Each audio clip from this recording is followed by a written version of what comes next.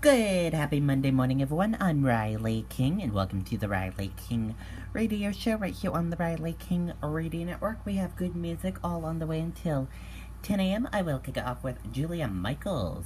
Uh huh.